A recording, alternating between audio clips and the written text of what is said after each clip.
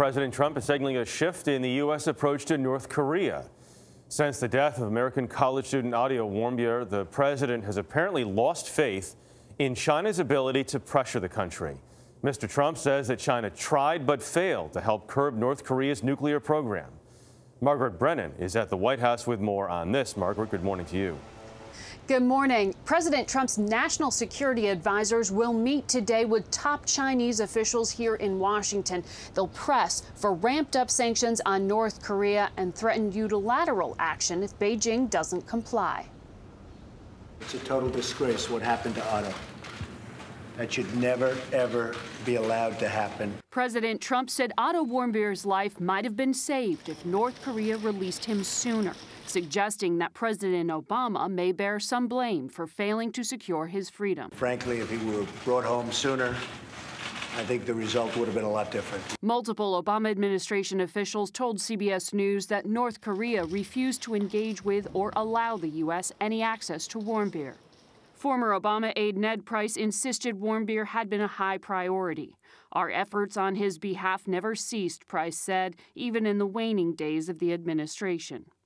With Kim Jong un still holding three Americans and continuing missile tests, the Trump administration has leaned on China for leverage.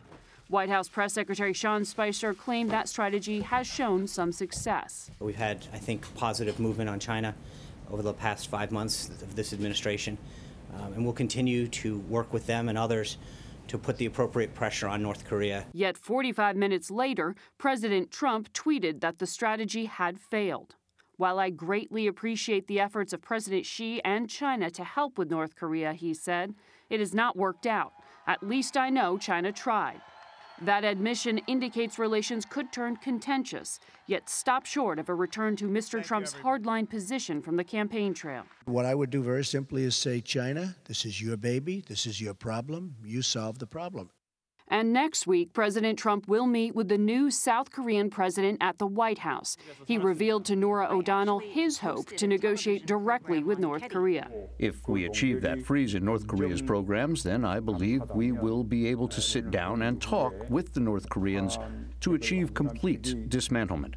And I hope that President Trump agrees with my view.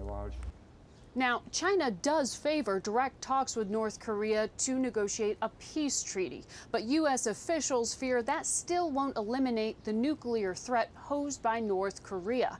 President Trump appears to be giving China one last try to fix it. All right, Margaret, got it. Thank you very much.